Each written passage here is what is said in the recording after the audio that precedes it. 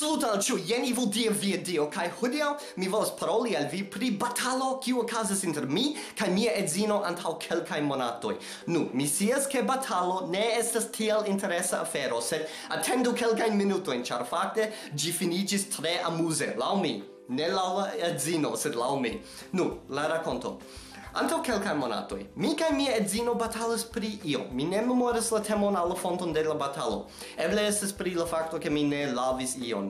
Um, kai ni batalis de la sesa gis presca la noktomezo kaj iom post iom ŝi pli kaj pli grandigis, gis la punkto kiam ŝi subite explodigis, kai diris fec al vi fekulo kai elĵetis min al apartamento kai diris ne revenu mi ne plu amas vin kai tio plu kai kompreneble mi tre tre afable respondis Fec al vi, virinaccio! Mi ne bezonas vin! Vi esas la plei malbelan virinon en la tuta mondo! Cai tiam mi eh, uh, elcudis el la konstruaĵo.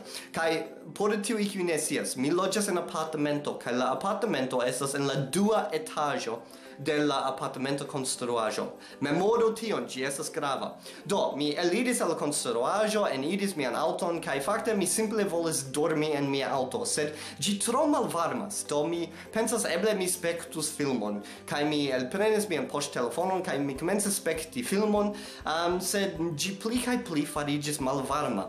Do mi pensas, ho oh, fe, mi devas iri al hotelo, sed mi ne volas elspezi mian monon kai fakte uh, mi ne havas mian monuion. Gi estas sur la benko en la apartamento.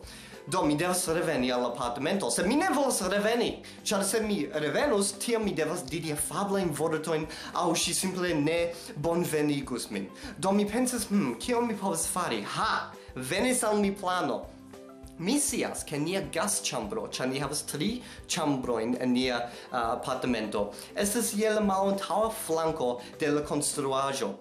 Kai memoru, gi estas sur la dua etajo, sed mi sias ke mi povas grimpi al la fenestro de tiu um, gasĉambro, ĉar mi fakte devis fari ĝin antaŭ kelkaj tagoj, kiam mi forgesis mian ŝlosilon. Do, mi iris al la malantaŭa parto de la konstruaĵo kaj mi komencis grimpi la muron ĝis la fenestro de la salono. Kaj mi enrigardis kaj mi vidis ke mia edzino estas sur la sofo kaj ŝi parolas telefone kun unu el ŝiaj amikinoj mi supposas, kai tiam mi comences grimpi al la um, gasĉambro kai mi tre malrapide rampis tra la fenestro kai tiam eniris la liton de la gasĉambro.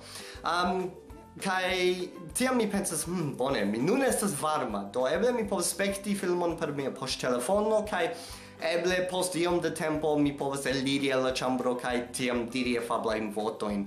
Sed mi ne scias. Sed mi tute ne atendas ke fakte mi simple endormiĝis ĉar mi estas tiel elĉerpita pro la batalo. Do mi endormiĝis kaj mi supozis ke mi sonĝis pri io kaj tiam mi subite vekiĝis ĉar laŭta bleko venis de la podo. Kaj tiam mi vekiĝis mi vidis ke mia edzino staras en la podo kaj ŝi staris tiel kio vi estas ĉi tie?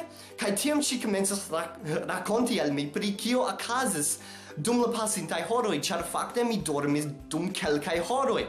Ŝi atendis horon, kaj tiam ne audis de mi, do si prenis post telefonon kai provis telefoni min, sed si ne povis kontakti min, kaj si, tiam si comences timi ke eble io okazis al mi, kaj si tiam vidis ke mia monuio estas sur la benco, do mi ne havas monuion kaj mia poŝtelefono ne funkcias, do kion mi faras? Mi estas exter la domo sola. Kaj ŝi pensas, "Ho oh, ve, eble ŝtelisto trovis min, batis min kaj volis trovi monon, sed ne povas trovi ĝin, do mortigis min." Do ŝi rapide eliris al la konstruaĵo ĉirkaŭ rigardis, ne povis vidi min. Ŝi vokis mian nomon kaj mi ne respondis, do ŝi eniris la ĉambron, la apartamenton kaj komencis plori, plori kaj el ĉambriĝis kaj el apartamentigis kaj cerca rigardis de nove kai en en eniris de nove la apartamenton kai ploris kai tiam telefonis a sian amikinon.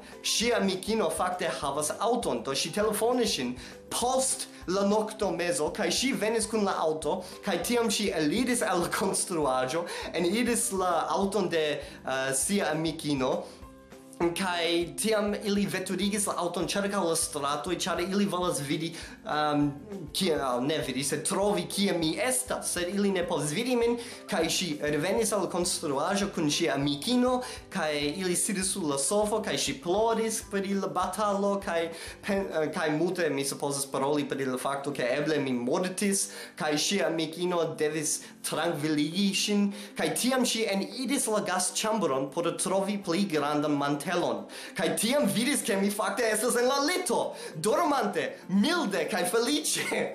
kai kompreneble ŝi blekis multege. Vi estas ĉi tie, kai ŝia amikino diris: "Kiel fek?"